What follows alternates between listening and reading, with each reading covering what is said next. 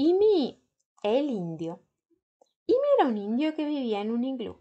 Un día se fue a una isla montado en un avión.